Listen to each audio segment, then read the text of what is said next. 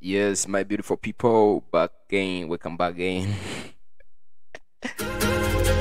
kimwe mu bintu birenze like ntabwo nshobora kubivuga ariko this track this reaction niyo reaction ya mbere eh.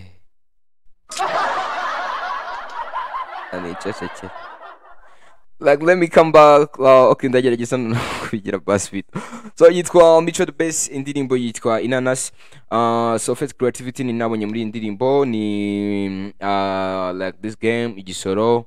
So igisoro ni one of the character, ga- character game traditional games zo mu rwanda. So big shout out kuri mico the best kubera ko yexposinze igihugu yexposinze igihugu cyacu like kugaragaza umuco w'igihugu imwe mu mikino iba mu gihugu. Uh, so uh, ni ibintu byiza cyane kubera this video izarebwa n'abantu benshi batandukanye mu rwanda mu mahanga east africa man mu bihugu byose byo byo ku isi. Ano this video ishobora kugera so uh, by the way tutaratangira video reaction yacu kaduye credit bamwe mu bantu bagize uruhare muri ino video witwa Faizo Pro ni we wakoze amashusho yayo witwa producer Terem. Ni we wakoze audio uh, inasohokera muri record label yitwa Big House Records. Ni record label Mico the Best yagiyemo nyuma yuko avuye muri Kikas Music. Eh ntabwo nari nabonye inanasi ifite tatuwaje eh iyi tatuwaje ariko iri ku nkovu. Oh eh this guy afite inkovu afite inkovu ntabwo nzi izina rye. Ariko afite inkovu eh. Hano nta afite inkovu yashize tatuwaje so eh what the wala heshe that so let, let's go. So video yitwa inanasi. By the way big shout out nanone kuri mico the base kubera ko yexposinze ubundi bwiza bw'u rwanda eh, like beautiful girls. Muri ino video nabonyemo abakobwa beza benshi cyane. So shout out to you my brother. Okay, okay, okay. And uh, one time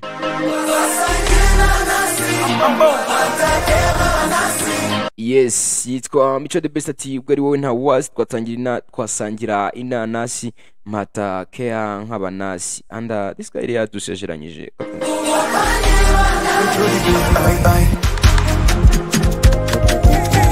yeah yeah so big shout out ku, ku kwambara eh umwambaro umwambaro yari yakozeho.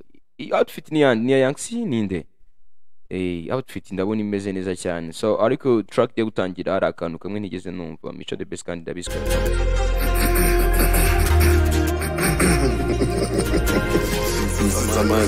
Ati say this go ati nta bishegu birimo. So ah, nizere ko ninumva track yose mpaka irangiye nari buze kumvamo ibishegu mwana. Let's go.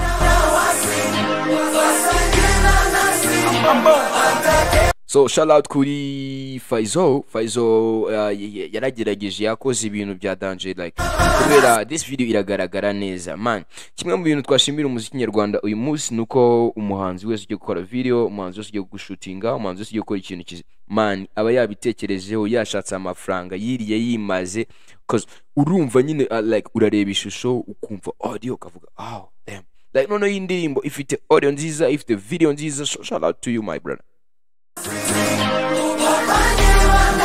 Yes sir. And this guy asigaye afite afite eh, afite igiheri igiheri cyateye kandi this guy yatubwiye ngo nta bishegu birimo. Ah, ibiheri n'ibishegu bihurira by the way shout out to Micho the best.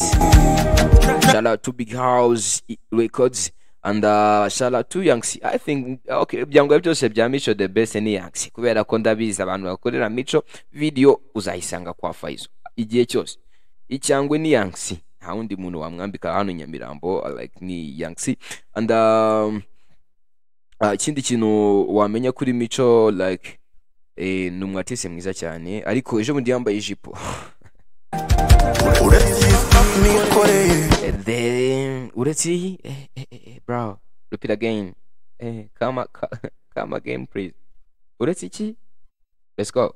uretse nikoreye na na keya zanjye poto uretse nikoreye na na keya zanjye zifite the bodies patrain potential sigiye wakwinanirwa yes ubundi buri munsi ndi tayari hagize umuntu wamutacinga ati uretse staff nikoreye ariko the brother brother yatubwiye ko uh, iyi video itari bize kugaragaramo ibishegu none ari kuvuga ngo iyi staff ngo yikoreye ngo eh ngo hagize ngo umuntu ngo umukoraho ngo none ngo nawe ngo yahita ngaba ngo jetiri eh bro how? Eh ntago mubeshyera bro niwe wabivuze track time.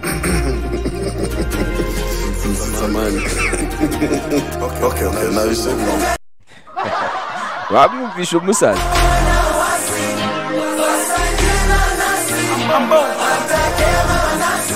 one time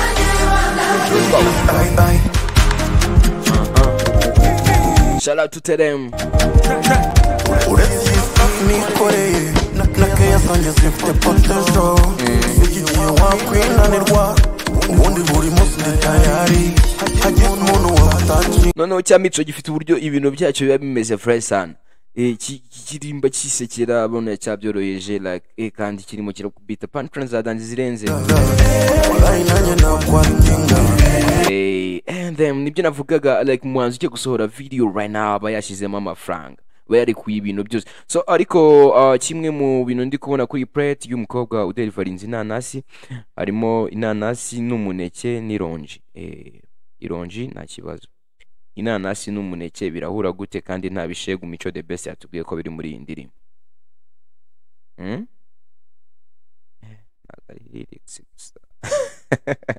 So i think the guy impamvu yavugaga ko uh, nta bishegu cause this guy this guy ni ni king w'imyandikire y'ibishegu mu Rwanda cause ni we wanditse ni we wanditse Samoya ni we wanditse igare ni we wanditse mm, ah, ngo hari utuntu kikora. Like, utuntu kikora tunce tura ukageza na, na, like that guy ni we wabyanditse byose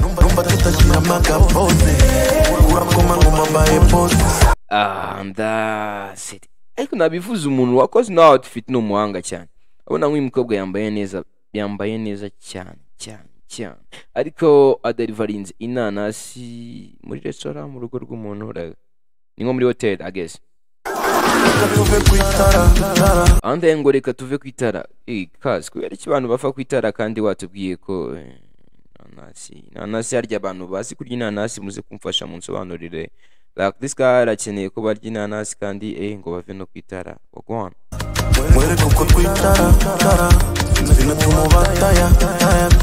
Cyangwa se ngo ube bowan bowan twe mu nyenga Eh, by the way, shout out this guy. Iyi nanasi, iyi nanasi imeze neza cyane. Iyi nanasi ni inanasi kabisa ya be. komeza Oh, oh, Zawadi. eh, this guy no no na video batabamo. Eh, this guy ngiye muzi ari muto cyane. Uh, like ataratangira kujya mu mavideo ariko buri video zose zo mu Rwanda zibamo ah sa cyahoze ku mu Vixen ubanza ari byiza cause asigaye ameze neza cyane eh, Zawadi. And iyi plate ni cyo kintu ndashaka ko tuganiraho cyane like eh, the guy yatubwiye ngo iyi ndirimbo ngo nta ngo nta bishego biri buze kuba birimo and muri video script uburyo yanditse umukobwa derivarinze inanasi iriho inanasi kumwe n'umuneke eh. and then inanasi n'umuneke arya ubundi abantu bazi kurya imbuto fresh baze kudusobanurira ubundi umuntu arya inanasi n'umuneke bigakunda eh, ari imbuto za nyazo nyine atari bino bya mico de yes sir.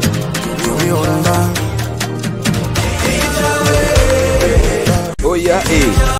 Aka kantu ntago nakabonye eh, mico mico mico mico mico mico eh, mico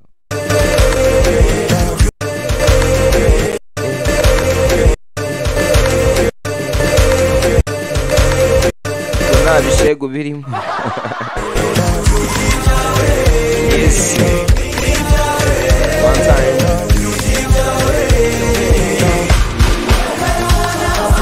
let's go.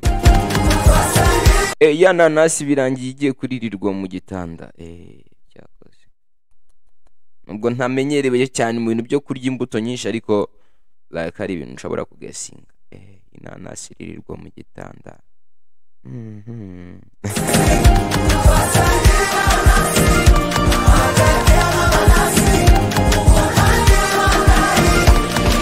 nkubeshye nasanze uri iryo kuri pome nataye amatunga Eh, ngibyo kuri pome ah, y- ah, aravuga ngo sinkubeshye nasanze uri bo okay yavugaga aravuga nk'umuntu utanga inanasi.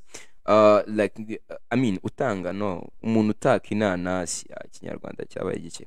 Ariko aravuga ngo uh, sinkubeshe ngo nataye amapome nataye amacunga. Hey, okay amacunga n'amapome like ni ni kind z'imbuto zindi umuntu ashobora kurya. Ariko the guy arimo aravuga ko we ntago nta- ntago wamukoza amaga ama ama ama ma, ma, ma, ma, like amacunga ntago wamukoza ama, ama pome. We yahisemo kujya yirira inanasi. Ariko inanasi ubanza iryoha. Inanasi eh, inanasi irya kuri po Ay, ndaza kwita. Inataya let's go. Unga wowe gusa mama ide. Upita agapamvu mdugana ikironda Eh, by the way hano ndabonamo inanasi nzabona uzihinga izi nanasi izi nanasi ndabona nziza ahantu. Eh, niba ari izo mu gake. Izi nanasi ndazizi ariko ukuntu. Tu ziri muri kigali izi nanasi izi nanasi urabona iriya nanasi y'inyuma? Iyi ngiyi iyi nanasi yasetse cyane. Iyi nanasi ndayizi iyi ngiyi. Iyi nanasi iriya nanasi ndayizi. Eh iriya nanasi ndayizi. Kukugira ibi bintu mbiruka seminari sinzi ukuntu ukora masaje one time dore ufite ikimuri ikora masaje reka tuve ku itara ati reka tuve ku itara wereke uko twicara Eh, ah, okay inanasi arashaka ko bajya kwirira inanasi ahantu hatari ku itara akamwereka uko bicara and indirimbo ya mico yatubwiye ko nta bishegu birimo so ni ukujya kwicarira ahantu bakirira inanasi bataya ngo ube bowa bowa tubwe munyenga Eh, ry'umuntu wowe komeza ni ibyawe ehe tubibona let's go. Ah man umuntu wakoze umuntu wakoze. Umuntu wakoze eh sinavye iriya nanasi ndayizi. Iriya ndayizi mm oya so iyi script yuko inanasi se ko mbona inanasi itangiye gushwana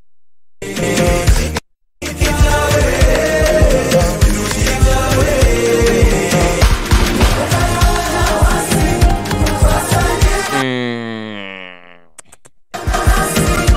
ariko aka kantu aka kantu ninde wakabonye muri iyi video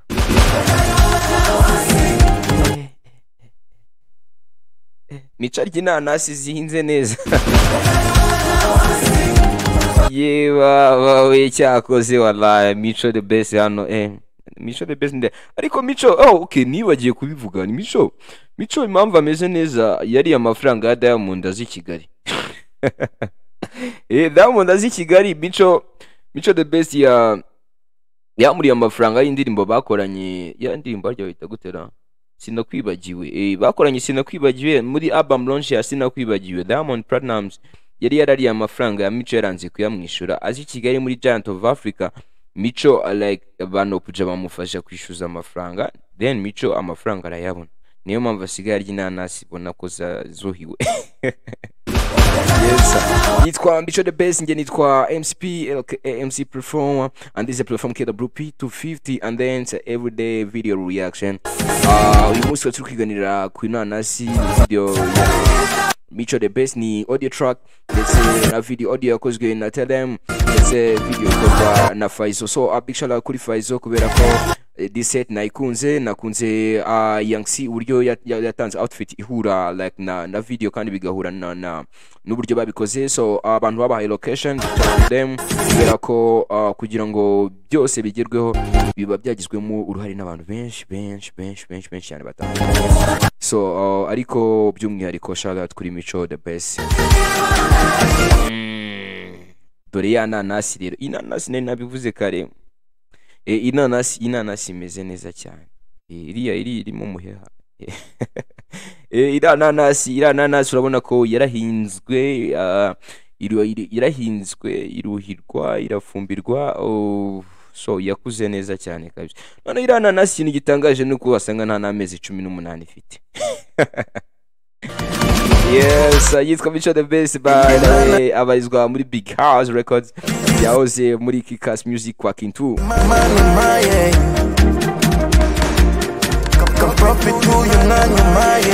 eh ati reka profit uyu mwanya umpaye twirira inanasi. Eh, by the way nanjye niba hari nk'umuntu ufite inanasi yumva ihiye neza imeze fresh. Eh, aze kureba muri description yampereze nanjye. Aza delivery reka tuve ku itara. By the way uh, script yatangiriye mu muhanda. Ntabwo njye nibagirwa ibyo ndi kuvugaho. Script yatangiriye mu muhanda urabona ko eh, bavuye ku itara. Ariko ku, ku video yatangira ntabwo nigeze mbona ahantu barya inanasi. Eh nabonye nabonye baziderivaringa ariko ntabwo nigeze mbona ziribwa kandi ngo twakwirira inanasi. Kandi the best yatubwiye ko video itangira nta nta bishego se mu bifowe eh eh iriya ni tatuwaje cyakoze kabisa inanasi z'i Kigali we. Eh. inanasi z'i Kigali ziba zarahinzwe fresh sana. Eh. umunyenga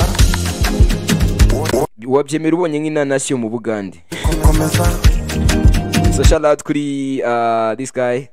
Ni ibya na, team yose yamufashije. Out kuri bano ba Vexen. Mm, and izi nanasi zihinze neza. Nabishimye nashimye imirima zahinzwemo. Ni imirima ubona ko yari ifite amazi. Akada gakata yes sir. And then this guy hey wamubonye tedem te producer tedem nura mutipe wambaye uturinete tw'umukara ni we muhungu wenyine uri muri ino video.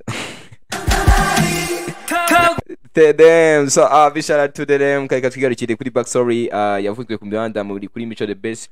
Uh, back in days abantu baravuze ko mico the best asigaye ajya kwanda. Eh asigaye aba muri rebo yo mu kiyovu ya rebo ya motion uh, njyewe nigeze kubona like mico the best. Na motion moses uh, n'abandi batipe harimo ba kavumbi dust harimo uh, like like gang yo kwanda. Nigeze kubabonana na mico like uh, back in days ariko ntabwo nigeze mvuga ko wenda bari mu bintu byo kwanda cyangwa ibiki so after few days ni bwo twabonye amafoto ya mico like yambaye amajipo mico yose mico ko tuzi mico tuzi ko atajya mbara- yambara yaje kwambara ijipo gusa. So by the way bantu niba ushaka kubaho fresh muri kigali hari ibintu ugomba kwirinda harimo eh. Dore inanasi wallahi. Eh, so ah, ah, ariko uzi ko hari igihe tureba video? Nturebe neza video iki. See this. You see. Yeah yeah dina nasi ni video. Itarimo ibishegu. Ni audio itarimo ibishegu nkuko mico the best yatangiye abivuga so ni video ubona ko irimo amafaranga menshi. So uh, ni audio yakozwe na producer tedem. Ni video yakozwe na Faizo. Faizo Pro ni umuntu ukorana bya hafi na Mico the Best mu mavideo yo menshi. So this track I liked I liked it niyo mpamvu nimva nabwira Mico the Best oh yeah. Cool that thing. Hey, kariya kantu ka Mico nagakunze cyane Hey, urabona ko izi nanasi ni ukuzibwira gutya izi nanasi yeah. and uh,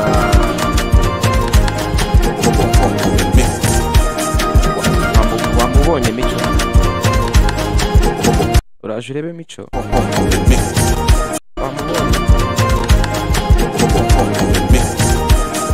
wamubonye mico Eh, yitwa mico the best Ah,